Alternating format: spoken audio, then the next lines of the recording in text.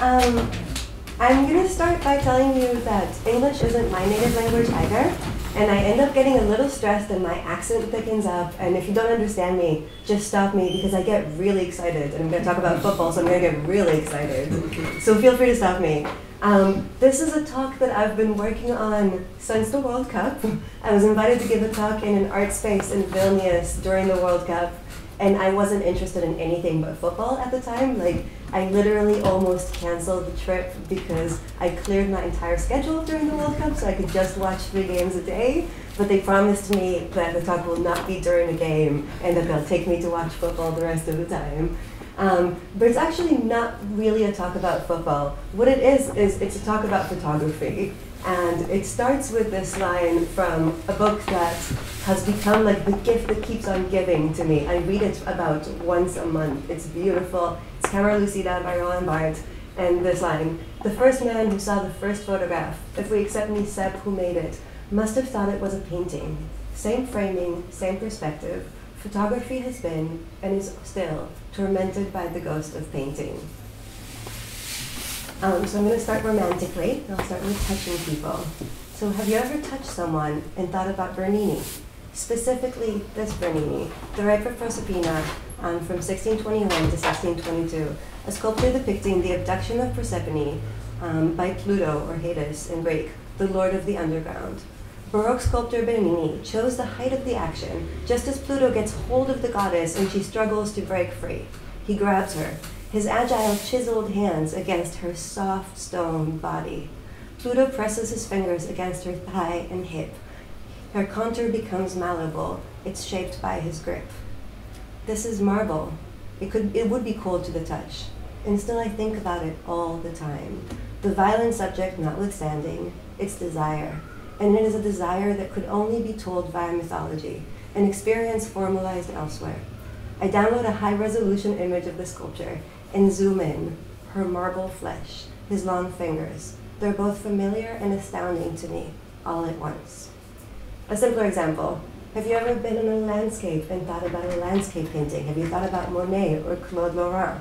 The history of art mediates the way that we see the world. This is a talk about that, just about how we see art in the world around us. But it's also about what artworks we bring up in our minds as we stand in a landscape or upload a photograph to the internet. Um, and it's about an, what idea of art it is that we see and then post to Instagram. Um, it's also an essay about football, and thus it is also an essay about time and memory, about the gap between the decisive moment and the moment that precedes it, about how we experience things through representation. It begins with a footballer who's celebrating a goal, and it ends with memory and possibly with loss. And finally, this is an essay about representation. It looks to football as an example of an experience mediated via different diverging forms, from photography and live television to different layers of language like punditry and commentary and analysis. And then it asks why we see art in all of these things. Number two, sight. I see photographs everywhere, like everyone else nowadays. They come from the world to me without my asking. They are only images. Their mode of appearance is heterogeneous also from Camera Lucida, obviously. I told you it was a gift that keeps on giving. Um, Camera Lucida comes out in 1980. It's just three years after Susan Sontag publishes On Photography. In the first page of which she writes, photographs thicken the environment we consider as modern. I think about this line all the time. So I've been following this project for like a year now, where I just read 1980s and 1970s photo theory, trying to understand what it says about technology, like whether there is any way to look at John Berger or Susan Sontag and see something in it today. Because that like idea that photographs thicken the environment that we consider modern seems really different today when we upload 851 Instagram photos just to Instagram every single second, which means, wait, I calculated this the other day, 75 million images a day, which means that in about every minute, we upload more images to the internet than photographs that existed 150 years ago. So like 150 years ago, there were less images in the entire world than we upload to the internet in just a minute. I have this whole other talk about sustainability in the internet and how like basically porn is the result of all our problems because the, like all all imagery or video-oriented internet is the internet that like has brought about global warming, basically. Um, but I'm also interested in images, and I'm interested in like this proliferation of images. Um, and I think that because we as viewers, like as a society, share more references because we share more images between us. Um, I think it's also the argument that Susan Sontag makes when she says, like in the environment we consider modern, that more things look more like other things, and that more things are recognizable to us because we have more access and exposure to visual imagery. Um, it's like a shared consciousness that's basically just born in media. Um, and so I'm trying to think about like this like saturated media society that we live in, um, and I'm taking one example that I'm obsessed about as a way to explore like how we share images and like exactly what kind of art it is that we see in things. And this is where Dele Alli comes in. Um, does anyone here watch football? Yes, I do. Two people were of mine. Um, okay, so this talk starts with this image. Um, I don't support Tottenham, but this photograph was released on April 1st, 2018. This is, what you're seeing is this footballer who's like 22 years old, really, really good, very talented, called Dele Alli just scored the second goal against Chelsea. They're both London teams. They hate each other with a burning passion. Chelsea are like the old racist rich one. Um, they're owned by Roman Abramovich, the like Russian oligarch. Um, at this point, when they're playing this game, Tottenham has not won against Chelsea in about 20 years. But Chelsea are not doing very well. They have like a very fancy Italian manager who like managed the Italian national team just before, um, and they are number five in the league, even though they won the league the year before. So this is like this moment of explosion. Like it's pr- pretty much the first time that Tottenham are gonna win against them in 20 years. Um, it's like minute 70, and he has just scored a goal, and he's celebrating in front of the audience. And the second beforehand, he put his hand near, near his ear, being like, "I can't hear you," but he definitely heard them. Um, he probably heard the Chelsea fans that were like berating him and yelling at him because he's sitting in front of this, this crowd and he's shouting, and then you see everyone else there. I have some details. I love that guy with the coffee who like just gave up completely. um, I love that guy who was like, "Oh my God, hold me! I can't take this anymore." Um, who was here that I was really interested in? Was it just the fact that there was a woman in that one? Um, I just grabbed all of these images, like all of these details for you. Um, but I think actually I'm going to go back up to the original one and be like, because there's a flat flatness to this image that's like really obviously painterly, right? Like it looks familiar. There are layers of it um, from him in the forefront to like every because it's like built as a staircase. Like you see them going up and up and up. Um, I found this image through someone on Twitter who posted on Twitter. Obviously went crazy viral, and what he posted was this photo of Dele Alli getting abused by Chelsea fans after scoring is like a giant Renaissance canvas. The more you look, the more characters and possible backstories you discover. So like the internet then played that wonderful game of like tag yourself. Who are you? I'm definitely the guy with the coffee cup. Just saying. Um, and then one user said, "This reminds me of this classic." He writes and adds this photograph. This is Thierry Henry in 2002, scoring for Arsenal against Tottenham, another London team, Arsenal. Um, it's a legendary goal, and the photograph in the wake of it is even more mythical. Henry on his knees, his gaze lowered, flanked by these two security guards, um, and all the berating fans in front of him. The guy who posted it on Twitter says, That's almost as old as a Renaissance painting. Another user answers, and he says, That's newer. Um, this is Emmanuel Adebayor playing for Manchester City, but he beforehand played for Arsenal. What you're seeing is him playing at Manchester City. To the left, all the fans wearing Manchester City colors. To the right, all of the Arsenal fans of his former team. Um, I feel like we can all like agree that there's a very, very painterly quality to these. Um, but part of what I'm interested in is thinking. Sorry, my notes are.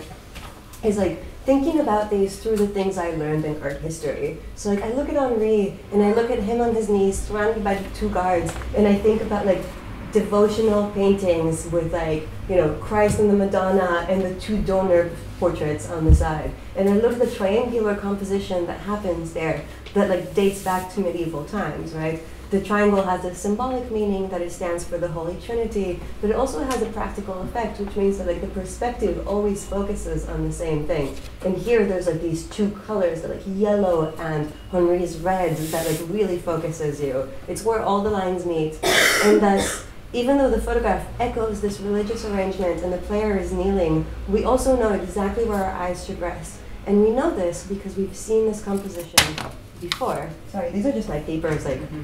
Being thrown everywhere. Um, so this methodology of like looking to the history of art is obviously not mine. Um, this is what John Berger does um, in Ways of Seeing from 1972, which is still a hallmark reference for all image culture reading. So he charted all of the recognizable traits of the history of art in the way that subjects like come time and time again. So the subject that he looks, oh sorry, I have one read again there. The subject that he looks at is this photograph of Che Guevara's body, and then he compares it to Jacques David's Death of Marat, to The Lamentation over the Dead Christ, to Rembrandt's The Anatomy Lesson of Dr. So you see how like these images, like all of these things remind us of all of these things. All of these things keep coming up.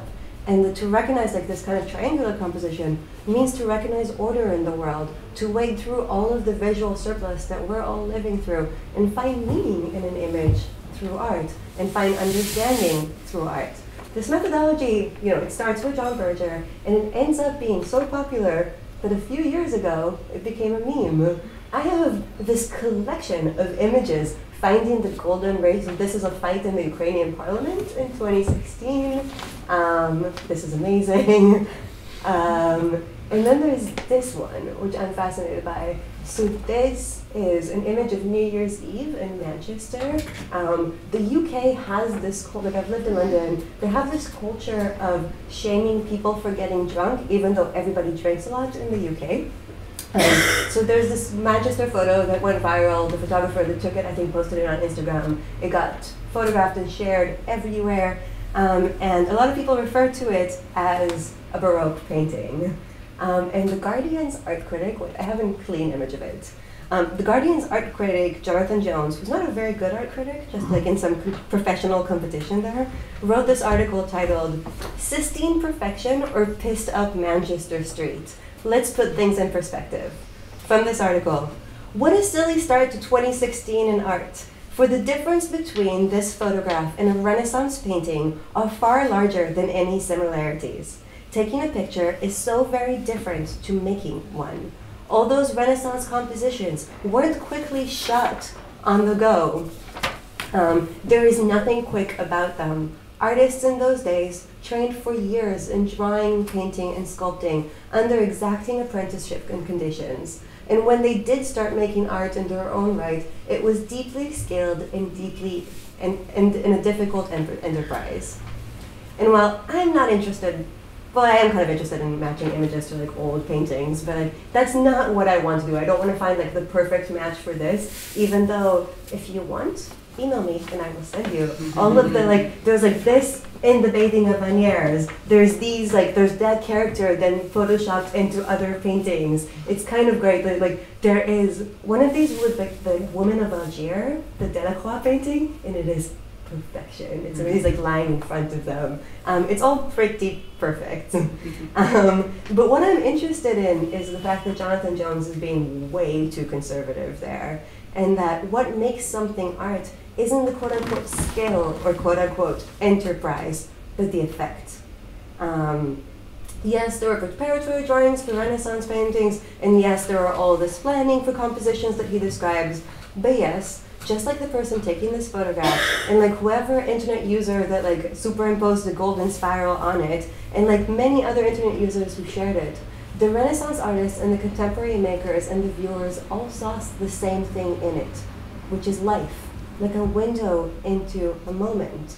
Um, and part of the argument that I'm trying to make is that like seeing Renaissance paintings in this or Baroque paintings in this helps us make sense of a world we can't, we literally can't understand. Like when you think about this as a Baroque painting, and you think about how like why this is the one image that was released from the G20 um, summit in 2018, it's because like all the composition all centers on Angela Merkel because the color system works, because the lighting makes it look so ominous. All of it is something that is legible to us. It's a Baroque painting, right? And all of a sudden, it allows us to have like a visual system that doesn't explain the world. Like, I mean, I can't explain to you why there's like a five-year-old boy there who's like the leader of the free world, but it does allow me to like try and analyze how things are represented, why things are like dispersed and mediated, um, especially in a world that's like so full of images. Number five, a Pietà. Um, I notice how religious all of this is, um, but it's not my religion. Um, anyway, here's a Pietà. This is an image of Frank Lampard, who is a Chelsea midfielder. This is from like 2005. He had scored a goal playing a game just after his mother passed away. And I mean, it surely rained that day. He's covered in mud. He's like flanked by his teammates. There's something about this that's just like so full of emotion. It's too personal. It feels like we're almost intruding on this moment that he is having on his own it's really like a pietà to me. Um, and it looks like a pietà, again, because of that triangular composition that really resonates with the religious iconography. But it looks like a pietà even more so because it is an imagery that's heavy and laden with really raw emotion. And such images of pain are the subject of religion, which leads me back to Dele Alli, um, celebrating in front of the Chelsea fans. And then I wonder, is it a Renaissance painting like people said it was? The subject matter and the treatment, so like a multi-figure tableau that stretches vertically, where the viewer's eye wanders across the central focus point, which is Dele Alli, across all the rows of the fans who are flattened to a picture frame behind him. It all rings really familiar. So what kind of a painting is it? So if it's a, if it's a Renaissance painting, if we're going to play that game, it's not an Italian Renaissance painting. It's not a Raphael, even though he was the king of the triangular composition it's Northern Renaissance painting. It'll either be these like vertical compositions that you see in Hieronymus Bosch that are like full of many, many figures in them, or it'll be the like moralizing. Ah, this is a moment where like the image isn't like high quality enough. It looks great on my computer, but you could see that the faces of the people in the ship of fools are very much like berated. Um, partly because painting in the Northern Renaissance is very much about like an ethics and a value system, right? So like they're supposed to like educate you. And then the other person I'm thinking of is Bruegel because even though your eye goes to a specific scene, right, and that becomes the title of the work, just like your eye goes straight to Dele Alli, um, there's also a million other scenes there. There's like the little like fire by the motel. There's the people ice skating. There are people selling stuff in the back. Um, so I think that like um, the comparison between Bruegel and Bosch doesn't make a ton of sense because they're like a hundred years apart. Then I found a book. I was doing research for this in the British Library, and I found this amazing book um, from 2016 called Bosch and Bruegel: From Enemy Painting to Everyday Life.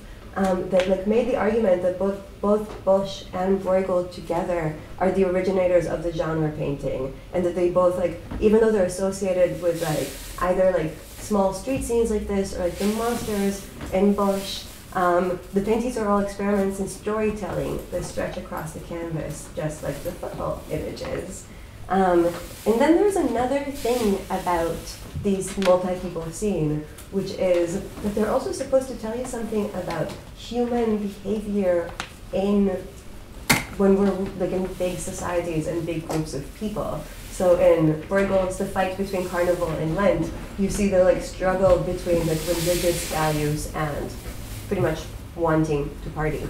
Um, but I think there's something else in these images, um, in the Bosch and in the Bruegel images, which is tenderness. I feel like both painters really display like this like empathy towards their subjects. Like they're not ridiculing their subjects. What they're communicating is a certain value system of the society that they lived in, but there is no judgment in it which is something that I think about a lot when I think about how when that Dele Alli photo was posted on Twitter and everyone was like, tag yourself, I'm the guy with the coffee. There's ridicule in that, but there's also this desire to see ourselves in images, to like represent ourselves, to experience this like shared humanity. Which leads me to humanity. Um, just, just a little pause in the middle of my argument um, so I could talk about like, the possibility of identification. Um, this is Mo Salah, um, possibly one of the most amazing football players to have emerged in the last few years. He joined this British team called Liverpool last year, and he had the best first season that anyone could ever imagine. He won the biggest footballing award, he scored the most goal in, goals in the league, he assimilated into a really fast and really wonderful team. He's also an Egyptian player who is Muslim, devout, wears a beard. Um, which, I mean, there's a lot of Muslim players in football. There aren't a lot that like wear a beard and talk about their faith in the same kind of openness that like Christian Brazilian players talk about their faith. And I look at this image of him kneeling and the entire audience behind him, and I know what they're singing. What they're singing about halfway through the season, they started singing this song, which is based on the song Good Enough by the English band Dodgy. Um, and the lyrics are If he's good enough for you, he's good enough for me. If he scores another few, then I'll be Muslim too. If he's good enough for you, he's good enough for me. Sitting in a mosque, that's where I want to be. Um, so I've heard them sing this when I was like watching football on television, and I didn't fully understand the lyrics except for like, oh my god, these are a bunch of like racist British people singing about wanting to be in a mosque. And then I found the lyrics on this like Liverpool fan site called the Redmen TV, and the preface to it is. The song is proof that football is more than just a game. It breaks down barriers and brings people together. No matter who you are, football doesn't judge. That's just my little brief break on humanity. I can go back to versions. Um, so, a football pitch, just like a canvas, is a predetermined aesthetic system. Almost every photograph from a football game would focus on the player, would include an audience in the background, would freeze the frame in a specific moment. Stadiums used to not allow cameras. And before smartphones, there wasn't like a proliferation of different images from different angles into it. There was basically only one allowed image that came out of everywhere. Um, that's an exception in, only in like hobbyist leagues and in women's football, obviously, because no one cared about photographing women's football until like maybe two years ago.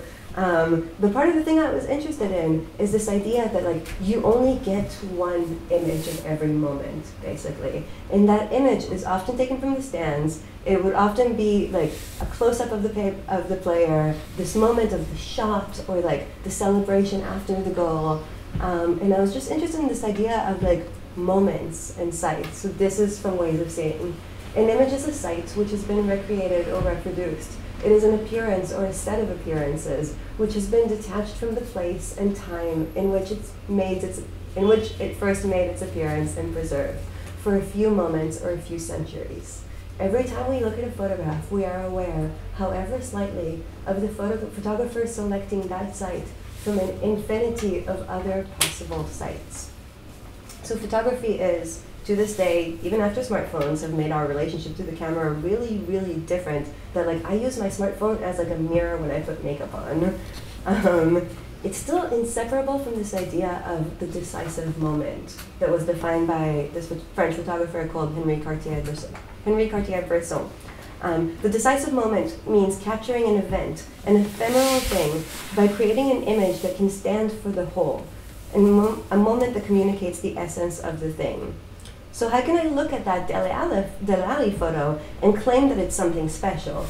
There are so many photographs of this event from so many different angles, and for some reason, they all have a really different effect, right? So this is the one that I keep using. This is the one that shows that like I can't hear you. This one is just cropped in a different way and it's still less effective. It's like it makes this really great argument for composition, right? But I think part of the reason that I think football is such a good example for all of these questions about vision and sight and photography is that football's relationship to time is really particular. So even though I'm a pretty obsessed football fan, I illegally stream almost all the games I watch. So I go on Reddit and I find like an illegal stream for it. And I very often will like talk to my friend Harry who lives in Berlin on the phone or on Skype while I'm streaming. And my internet connection is not that great, so it'll pause or like I wouldn't understand this, but I'll be like 30 seconds behind Harry. So as we're talking, the goal, and I'm like, no, I haven't seen it yet. I don't know what's happening. And then I'm like, I'm in minute 18, 16 now. Where are you? He'd be like, I'm in 1905. I won't tell you anything for 40 seconds after it happens. So we have this like amazing relationship between us where we try to like surpass time between us as we're talking on the phone or texting. Um, this is the introduction to this beautiful book called Football that was published last year. A football match immediately ceases to be interesting as soon as we know the final results. As soon as the invisible thread connecting football to the passage of time is broken, as soon as it is stripped of its dimension of irreversibility, its grace and brilliance immediately vanish. Um, so that invisible, cre- invis- uh, sorry, that invisible thread that connects football to the passage of time is, in our experience as viewers, quite visible, right? It's like a system of representation. It's a video camera that you'll often see because the players that like scored a goal are running to the camera and are celebrating in front of the camera. So all of a sudden you'll see like the inside of the mouth of a player or something. Um, right now there's this really weird expansion of time that happened in the last World Cup where they're using video assistance. Like they go back, they pause the game, they make like a television motion to say that they're gonna go to this thing called VAR, and then someone who sits on a television in a control room tells the, the referee what happened and confirms his decision. That's a really weird relationship to time. Um, so photography has its own weird relationship to time. In Camera Lucida, again, the gift that keeps on giving, Barthes writes about a photograph as document, um, that the photo is supposed to be a confirmation of a fact, that what we're looking for is a knowledge that something happened. He writes about this photo of Polish soldiers by Emmerich Kertész from 1915, that they were there, that what I see is not a memory, an imagination, a reconstitution, a piece of Maya, such as art lavishes upon us, but reality in a past state, at once the past and the real. I love this line, at once the past and the real. And I think that it's part of football's like fragile, fascinating relationship to time. The fact that the pleasure is gone the second you know the score, but the, also the fact that the second you know the goal, that like the decisive moment you saw it happen, you immediately want to replay. You immediately want to experience it again. Every time I've seen a game live, and I haven't seen many games live, the second I saw a goal, the first thing I was like, I kind of regretted not watching it streaming on my laptop because I couldn't see the goal again. Like you want the pleasure and the experience and the beauty without any having any of that hesitation of like, get in, will it go in, will it not go in? Um, and I think that this fragile relationship to time, which is so visible when you consider these specific systems of viewing, right, like live replays, still photography, is partly why we see Renaissance paintings in it. The fragile thread that Toussaint talks about when he connects football to time is also an emotional thing.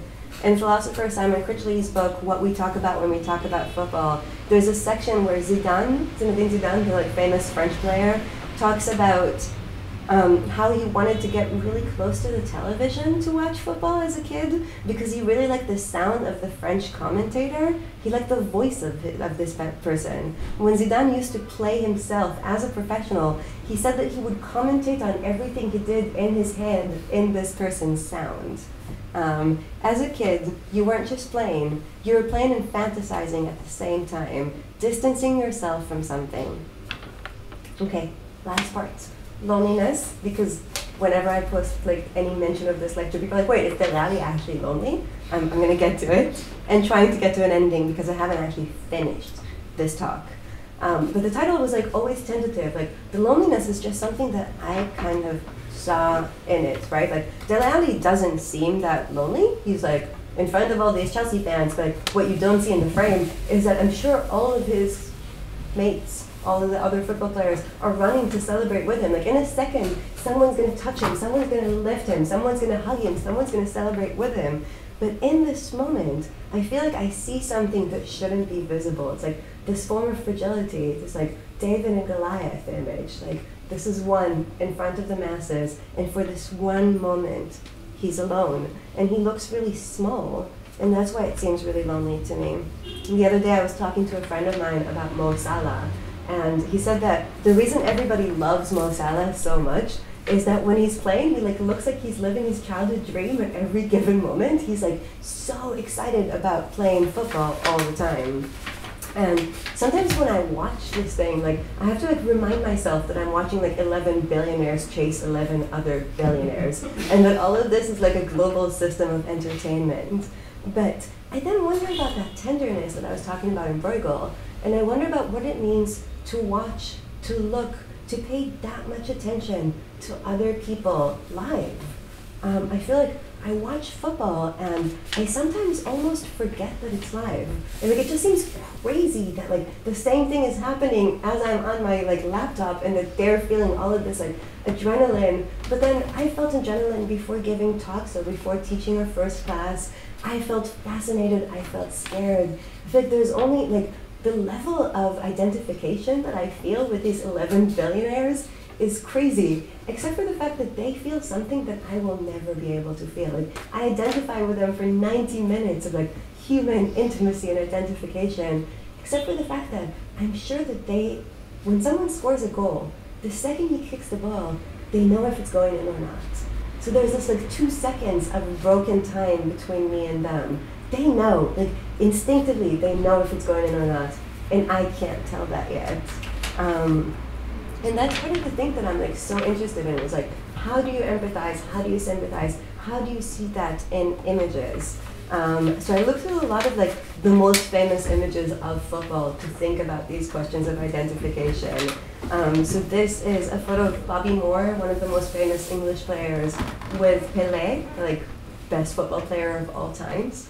This is the end of the group stage, the World Cup in 1970, England versus Brazil. The game had just ended. They're just changing their shirts. It looks like every photo of Marilyn Monroe, right, with like all of the photographers around them.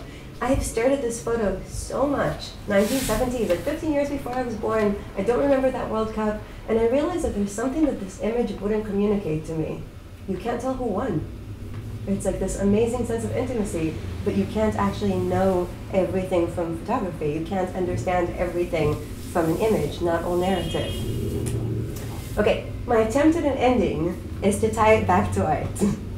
um, so this is Adel Abdessemed's coup de tête.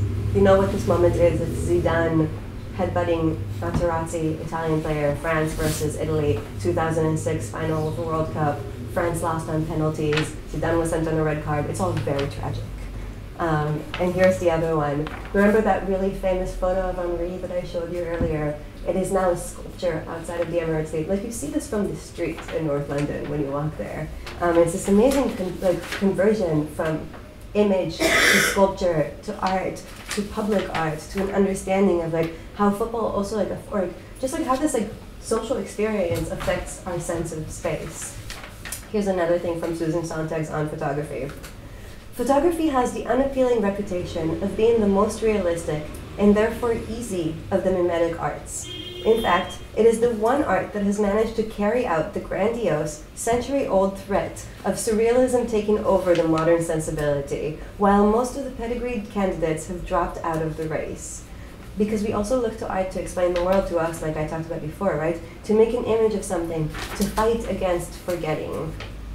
Um, just down the page, in the same page on, on photography, um, she talks about surrealist paintings and says, painters, sorry, and says, they kept a long, prudent distance from surrealism's contentious idea of blurring the line between, the line between art and so-called life, between objects and events, between the intended and the unintentional, between pros and amateurs, between the novel and the tawdry, between craftsmanship and lucky blunders. And of course, the thing I'm interested in in this is the idea of a so-called life. Um, I couldn't find an example of a life that's more intense than football, but what I wanted to talk about was always life. I'm thinking of Sontag and of Barthes and of Berger, and I'm thinking about like less than 10 years between 1972 and 1980, between Ways of Seeing and Camera Lucida coming out. And I think that each one of these is an attempt to, in writing, make sense of the world around them, where visual matter was changing. Remember, Barthes says, I see photographs everywhere, like everyone else nowadays. Um, and thus the relationship between art and life was constantly being redefined in those 10 years, because society's relationship to images had to be redefined. I'm thinking of the 1970s and wonder what the image of culture was like. Right? In like classical or contemporary image consciousness. I try to imagine the streets of London or New York or Paris from the movies that I saw in the 60s, not from anything else. I think of posters. I think of like the texture, the, like the way that photography enriches the environment we think of as modern. Um, I think about all of the advertising signs that Barthes would have seen everywhere coming at him from the world. And of course, I'm making the argument that we live in a time of visual flux again. Remember I talked about like numbers earlier and how many photographs we upload every day, trying to astound you with all these numbers and all these images that come from the world to us and that like emerge from our phones. It's like this perfect description still. And what I'm interested in is seeing how we decode this world and how we decode so many images that it brings to us. And on this like sweet, optimistic note of trying to answer it, I want to answer that we read these images according to the terms we share, like the art that we see in life. Um, and then one last thought, also from Camera Lucida. This is like in page 20 or something. I don't know why he didn't close the book with this, but that line is, I am interested in photographs just as I'm interested in the world. And that's it. But now we can talk about football if you want.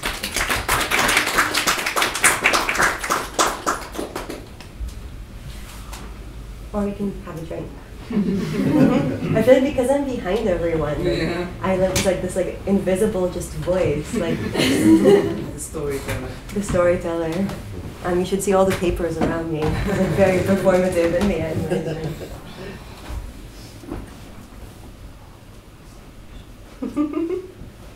Any questions? Do you want to look at Dele Alli again? Do you want to look at how gorgeous their Henry is? I have something to ask you. hmm Um, I, I was just wondering why you didn't mention the name of the photojournalist that took these pictures. You know what? I literally don't know. I think this photo, like with Barthes, it just came to me. Like, I've been obsessing over it since it came out in April 1st. And I was, like, I transcribed people talking about it in football podcasts. No one mentions his name. I don't know, I actually don't know where it came from. It, like, just started circulating, uh, as images tend to do. Yeah, yeah, yeah. I know, but I mean, I just think it's it would be very uh, like it would be more interesting to kind of you know um, honor the photojournalists True. that are behind each picture because you know you know you're you're talking about these as if you know they are works of art and you're of course mentioning you know people from you know uh, art history like Bruegel and other stuff and I think you know this kind of reflects a kind of a bias t- Mhm. towards you know you know like cons- like considering those paintings like real artists and and these people you know just kind of these like ghosts who just you know like happen to take pictures but but you know like if you think about it which I think you know your your lecture made me think about it right now Mhm. that you know like I also watch football and like I see you know lots of photo photojournalists uh, behind the goals and you know these people make hundreds and hundreds and thousands of pictures and I bet that they're really good at their craft so like I Yeah. think that you know this is no accident that like this photo somehow miraculously turns out as you know uh, as, As the one that comes out from all these versions. because, because I think you know there's a kind of a sense of I mean there's a craft here that needs to be honored and those are the crafts of the photojournalists. And I just thought that it would have been nicer if you you know you know like took the time to you know uh, put their names in here and and um, and you know like what what your lecture made me think of uh, was you know I just had this idea of like, you know, could we maybe look at individual photojournalists and maybe try to see if they have a consistent style or something, you know. Yeah. That would be an interesting thought. So like I was thinking about that a lot, but uh, yeah, just um, um, it just like made me think a lot about how we take it for given that you know we because you know I also look at lots of these things, but you know it's actually a craft and like I would like to know more about these I photojournalists. totally agree. I also think that the difference between this and this is unbelievable. Like the framing changes. uh, Like that photo is not as memorable. I think part of what I'm doing here, you're right. There should be like there just should be a credit. I'm a little less interested in like the work of the photojournalist, like the loneliness of the photojournalist, maybe, um, sitting there alone in front of all these people celebrating together and living an experience together while that's their job and their labor. Um, part of what I'm trying to do is like think about like this could have been every subject, right? I just love football. Mhm. Is like think about how images come to us and how we make sense of them. So rather than authorship, which I'm a little less interested, like, because I love Barthes so much. Obviously, I'm a little less interested in author- authorship after reading The Death of the Author a million times. But I'm interested in like societally what we make of images and how we see them. Like this whole talk starts with like the people who are like tag yourself in this, and I was like, oh, why do we see ourselves in this? Like this is my current question in life is why do people want to see themselves in Yeah, things but online? like- Actually reminds me of the, the app, so Mm. the app. The Google Arts and Culture? Yeah, Yes. You have to find your face in, Yep. the, in the Renaissance paintings. Yeah, it was- Mhm. I was interested in that aspect of like um, identifying yourself in the photo. I'm still like not sure how to find a way through it. Like I've actually written about the Google apps, like the culture app. And especially when you were mentioning like people that that's me, you know, with a coffee cup. Well, that's a whole culture online, like same or me right now in the photo of the cat. Like identification is something that's really different, and it's also like part of what I'm interested in is that like in the U.S. specifically in pop culture, it has superseded race. So like people look to pop culture, look to like basketball players who are often black, look to singers who are often of color, um, and always refer to themselves as that. Like not dissimilarly to how like they will post like Kermit the Frog drinking tea to show that they're like watching something with interest, or like Michael Jackson eating popcorn. So like I'm interested in how like this flat identification comes about, and like I don't know what to make. I'm really interested in this. I was just to mention there are also some things that pass beyond individual authorship. I think when we're talking about uh, something like that, for example, you're talking about uh, the compressed space, right? How things Mhm. are flattened out uh, when we observe the viewers in the background. And I think we can only explain that uh, with the particular position of the photographer that is Mhm. placed somewhere within this closed space where the game takes place, and then he has to use a specific uh, sort of lens to photograph that from that distance, and that sort of lens technically compresses space. So there's already a, a number of uh, given things Yeah. that you have to work with as a photojournalist, and then the uh, the aesthetics that's born out of it is somehow supposed to uh, look this way, right? Yeah. Uh, that uh, just to finish, that made me remind. Uh, I mean, that reminded me of this um, instance from BBC's Genius of Photography. I think it was James Agee, the writer. He's looking through this uh, New York Police Department uh, archives, and then first he thinks that this is uh, one specific author that is of uh, a genius. Mhm. Uh, so he's so skilled that he takes these amazing photos, and then he recognizes that it's in fact a number of police officers, and they're not exactly the same person. Uh, so there are a few people involved, but all of the images that come out of that uh, effort look more or less the same because there's a given condition that they photograph uh, those things in. So then he thinks maybe it's genius of photography itself rather than this uh, individualistic uh, genius. And maybe finally, I would like to ask, uh, how do you ever try to maybe uh, come up with an explanation how this continuity is possible from Renaissance to uh, photography of today, or what creates this uh, sort of continuity?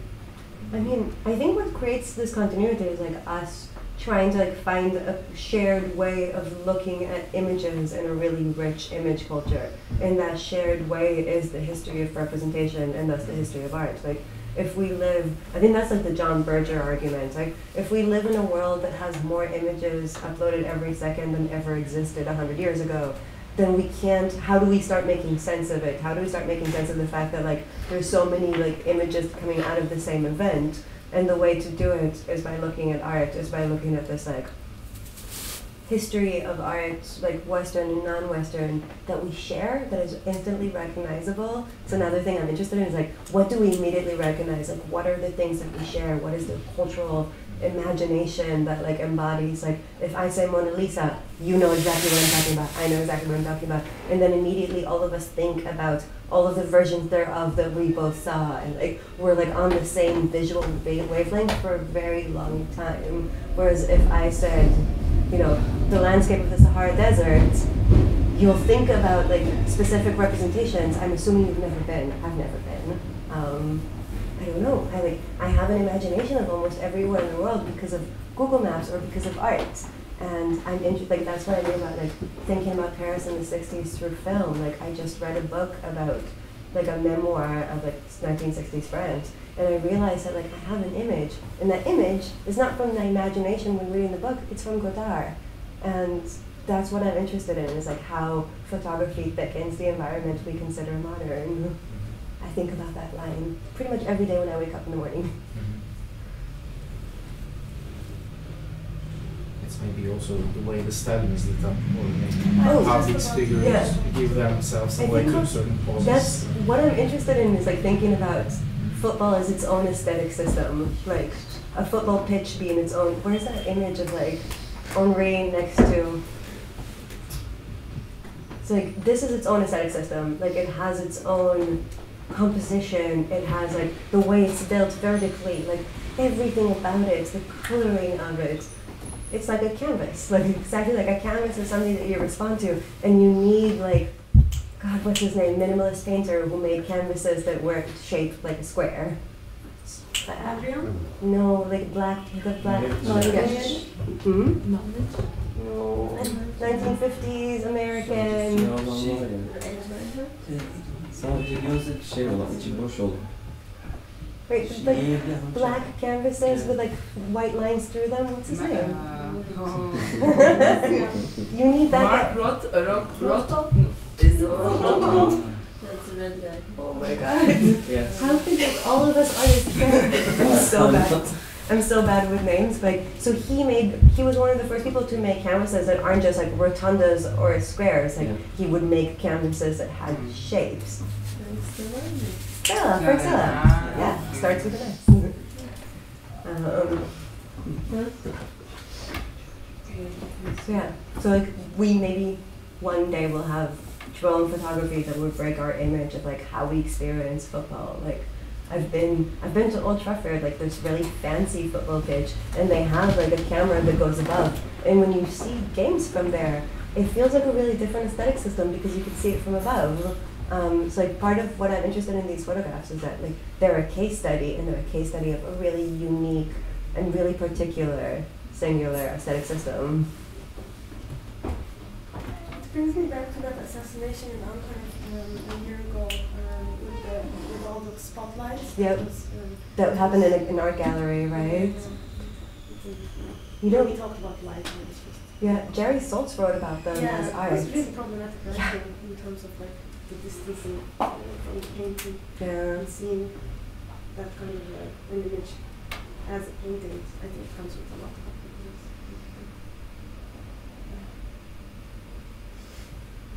I think I appreciate your talking about this topic without talking about pictures of pain, because I think most of the time those relationships are drawn, uh, you know, these images of dead bodies. Yeah. And so it's like in terms of in relation to jubilation and something that's very associated with spontaneity and kind of fluidity, I appreciate that. It's something very stagnant and something that's very actually fluid and moving.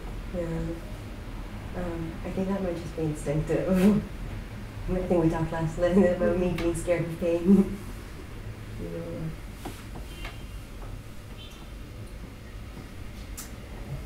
Should we drink a beer? Sure. Thank you. Thanks, guys.